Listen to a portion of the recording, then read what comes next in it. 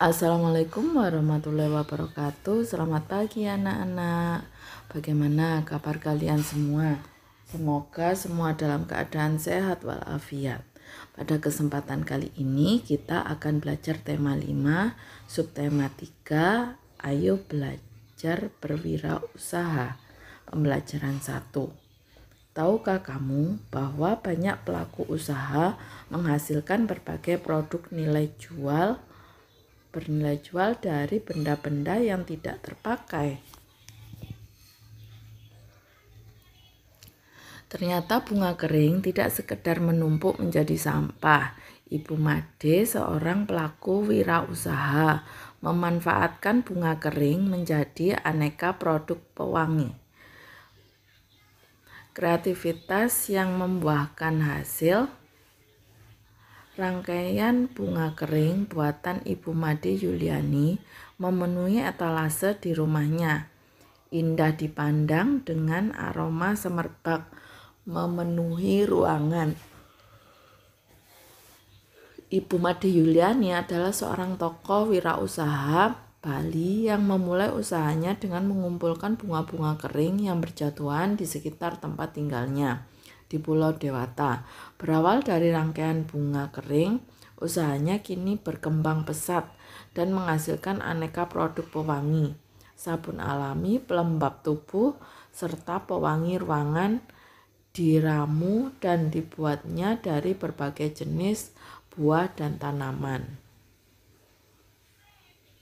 Kreativitas sangat penting dalam usaha ini, ujar Bumade. Bunga-bunga kering yang awalnya tampak tidak menarik dirangkai kembali menjadi karya seni, memiliki nilai jual. Lanjut Bumade lagi. Pelanggan produk yang dihasilkan oleh Ibu Made Yuliani tidak hanya berasal dari dalam negeri, namun banyak yang berasal dari mancanegara.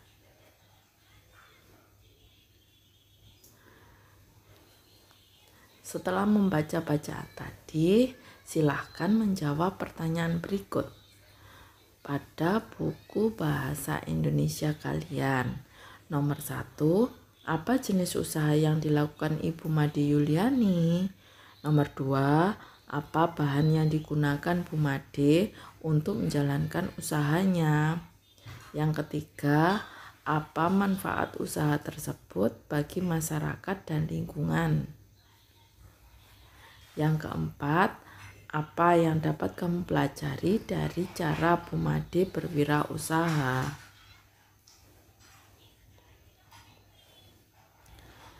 Kemudian diberlakukannya MEA, Masyarakat Ekonomi ASEAN, tentunya akan mempengaruhi arus barang dan jasa termasuk produk-produk yang dihasilkan oleh Ibu Made Yuliani apakah MEA itu, bagaimana MEA itu mempengaruhi kehidupan kita, apa manfaat MEA bagi Indonesia dan negara-negara ASEAN lainnya.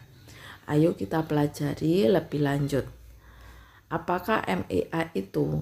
MEA singkatan dari Masyarakat Ekonomi ASEAN.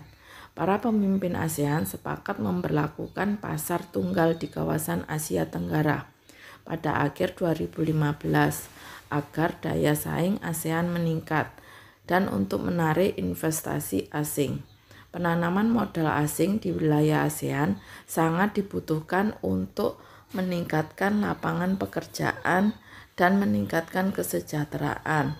Pembentukan MEA nantinya memungkinkan satu negara menjual barang dan jasa dengan mudah ke negara-negara lain di seluruh Asia Tenggara, sehingga kompetisi, kompetisi akan semakin ketat. Bagaimana MEA mempengaruhi kita? MEA tidak hanya membuat arus perdagangan barang dan atau jasa, tetapi juga pasar tenaga kerja profesional seperti dokter, pengacara, akuntan, dan lainnya. Dengan diterapkannya MEA, peluang tenaga kerja asing untuk mengisi berbagai jabatan serta profesi di Indonesia akan semakin terbuka. Begitu pula sebaliknya, tenaga kerja Indonesia juga mempunyai peluang yang besar untuk bekerja di negara-negara anggota ASEAN lainnya. Hal ini menandakan bahwa kualitas produk dan sumber daya manusia Indonesia harus terus ditingkatkan agar mampu ikut ber, berpartisipasi bersama tenaga kerja asing. Apa keuntungan MEA bagi Indonesia dan negara-negara ASEAN lainnya? Riset terbaru dari Organisasi Perburuan Dunia atau ILO menyebutkan pembukaan pasar tenaga kerja mendatangkan manfaat yang besar. Selain dapat menciptakan jutaan lapangan kerja baru, hal itu juga dapat meningkatkan kesejahteraan 600 juta orang yang hidup di Asia Tenggara.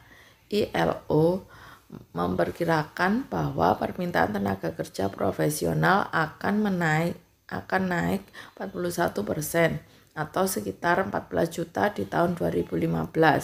Sementara permintaan akan tenaga kerja kelas menengah akan naik 22 persen atau 38 juta. Sementara tenaga kerja level rendah meningkat 24 persen atau 12 juta. Berdasarkan teks di atas, jawablah pertanyaan berikut. Pada buku kalian, satu apa yang kamu ketahui tentang MEA? 2. Apa yang perlu diperhatikan oleh pelaku usaha agar menghadapi MEA? Jelaskan. Apa yang perlu disiapkan oleh tenaga kerja Indonesia agar mampu berpartisipasi di MEA? Kemudian pertanyaan yang keempat, bagaimana sebagai pelajar, apa yang harus kamu lakukan mulai saat ini agar nanti ketika sudah menyelesaikan pendidikan mampu ikut berpartisipasi di MEA? 5. Apa manfaat MEA bagi Indonesia di negara-negara ASEAN lainnya?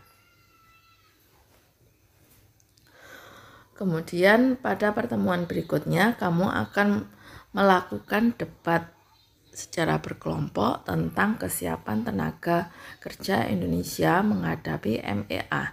Carilah informasi sebanyak mungkin tentang tema terkait. Berlatihlah melakukan debat atau diskusi. MEA juga akan membuka peluang bagi usaha kecil untuk berkembang. Salah satu contohnya adalah dengan membuat cendramata untuk wisatawan. Perhatikan mata dari magnet berikut. mata di atas dapat kamu tempelkan di pintu kulkas. Apakah pintu kulkas termasuk benda magnetis atau benda non-magnetis? Mengapa?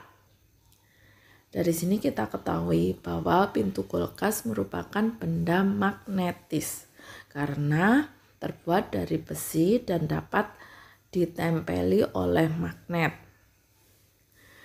Di mana lagi kamu dapat menempelkan cendera mata di atas? Silakan sebutkan dan jelaskan. Pada buku kalian masing-masing. Kemudian kita lanjutkan. Tahukah kamu bahwa magnet mempunyai medan? Apa yang dimaksud dengan medan magnet? Kemudian setelah melakukan percobaan tentang medan magnet, kita dapat mengambil kesimpulan bahwa medan magnet adalah daerah atau wilayah yang dipengaruhi oleh gaya magnet. Medan magnet tidak dapat kita lihat, tetapi dapat digambarkan besar medan magnet tergantung pada kekuatan magnet. Kemudian tujuan percobaan yaitu mengidentifikasi medan magnet. Alat dan bahan. Satu magnet. Dua serbuk besi yang diperoleh dari gundukan pasir. Tiga kertas karton berukuran A4 langkah-langkah percobaan yaitu taruhlah magnet di atas kertas karton berukuran A4 Taburkan serbuk besi secukupnya. di atas kertas karton tersebut. Ketuklah kertas secara perlahan. Kemudian yang keempat, gerakan magnet di seputar kertas. Jauhkan magnet dari kertas. Kemudian setelah melakukan percobaan, tulislah laporan berdasarkan percobaan yang kamu lakukan. Laporan percobaan medan magnet. Tujuan percobaannya yaitu kalian tulis, kemudian alat dan bahannya kalian catat pada tempat yang telah diberikan dan langkah-langkah percobaannya seperti yang kita baca tadi. Kemudian hasil percobaannya apa? Kalian tulis di buku tugas IPA kalian. Kemudian apa yang dapat disimpulkan dari percobaan medan magnet tadi? Kalian tulis juga. Presentasikan laporan percobaanmu dalam kelompok. Perdagangan di pasar bebas MEA akan meningkatkan arus barang dan jasa. Tahukah kamu bahwa banyak usaha kecil dan menengah mengirim barang-barang mereka kepada konsumen menggunakan jasa atau kurir. Sebelum barang dikirim kepada konsumen, biasanya penjual mengisi formulir terlebih dahulu.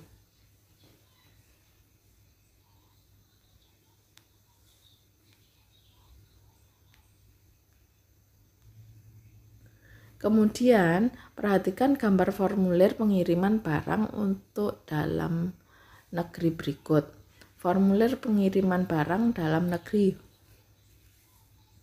Di sini ada daftar penerima yaitu nama awal dan nama akhir, alamat penerima, provinsi, kota atau kabupaten, kode pos dan telepon.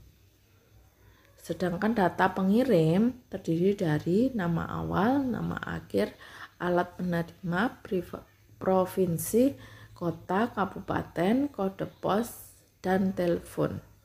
Kemudian kita bubuhkan tanggal, tanda tangan, dan nama lengkap pengirim dan tanda tangan petugas. Demikian formulir untuk pengiriman barang dalam negeri.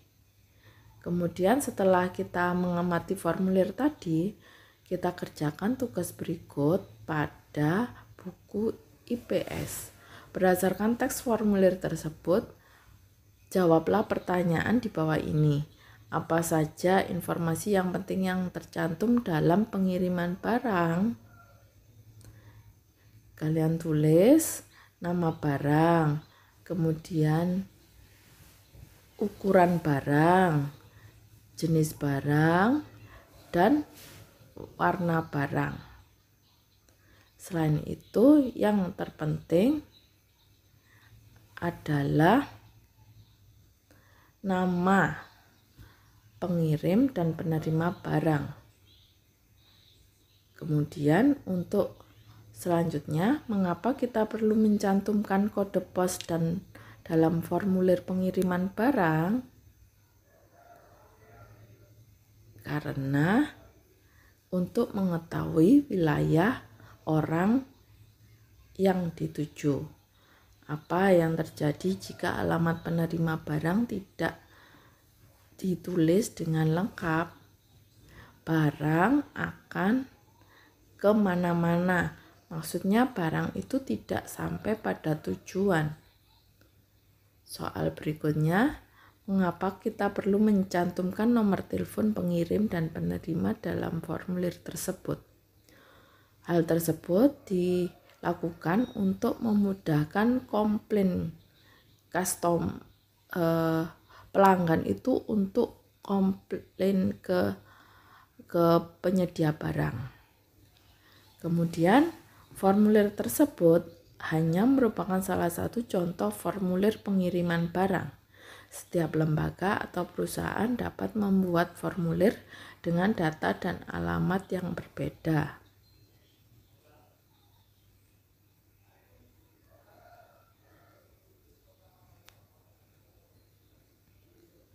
Demikian pembahasan tentang tema 5, subtema 3, pembelajaran 1.